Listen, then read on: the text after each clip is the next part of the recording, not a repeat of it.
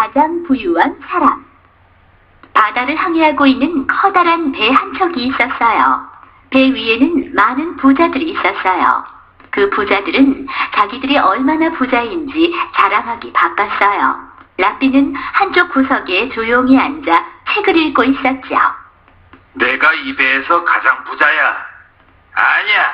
내가 이 배에서 가장 많은 재산을 가졌어. 부자들 중 한 사람이 조용히 책을 읽는 라삐를 바라보았어요. 그리곤 소리쳤어요. 당신은 가난한 납비이니 이 배에서 가장 가난한 사람이군요.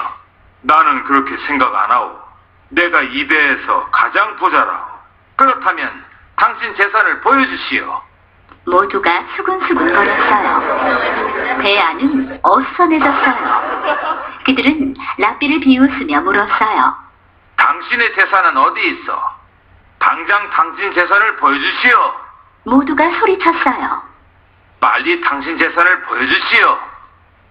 난 지금 당장 당신들에게 내 재산을 보여줄 수는 없어. 당장 당신 재산을 보여주시오.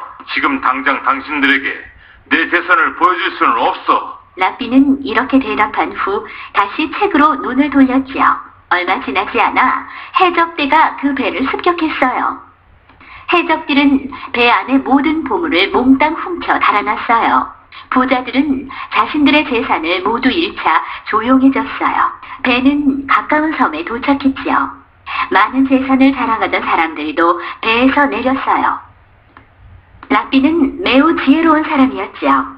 그래서 모든 사람들이 그에게 배우기를 원했어요. 얼마의 세월이 지나고 그 라삐는 유명한 사람이 됐어요. 라삐가 산책을 하던 어느 날, 라삐는 배에 같이 탔던 사람들을 만나게 되었어요. 해적들에게 재산을 모두 빼앗겨서 그들은 몹시 가난했어요. 그들 중 한 명이 울기 시작하며 말했어요. 지식은 영원한 것이죠. 이제서야 깨달았어요. 당신의 재산은 지식입니다. 우리는 금과 은을 가지고 있었죠. 그러나 이젠 모든 것이 다 사라지고 없어요. 으, 맞아요. 당신이 가장 부자입니다.